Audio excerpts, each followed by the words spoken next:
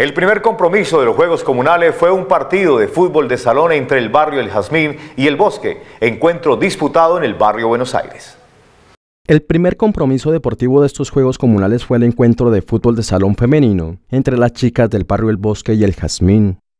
Primero porque para mantenerse, mantenerse, físicamente bien y es una orden de la, de la Policía Nacional pues hacer deporte, que los policías hagan deporte y para integrarnos con la comunidad.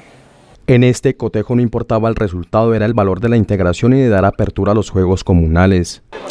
Eh, pues se tiene la percepción de que el fútbol solamente es para hombres y realmente nosotras las mujeres tenemos toda la capacidad para demostrar un buen fútbol. La invitación a las comunidades es de asistir a las diferentes competencias en los distintos escenarios deportivos de la ciudad.